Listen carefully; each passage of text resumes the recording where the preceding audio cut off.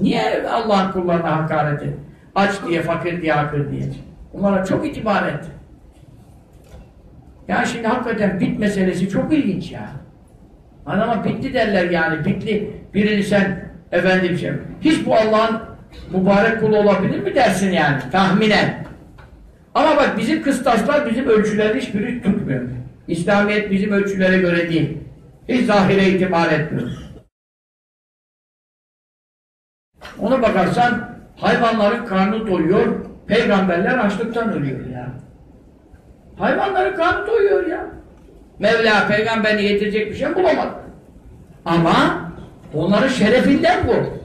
Size dünyada topluluk vermeyecek kadar şereflisiniz benim nazarımda Mevla buyuruyor. Sizi doyurmayacağım kadar şereflisiniz. Çünkü dünya çok şerefsiz bir meta. Bunu anlayabilsek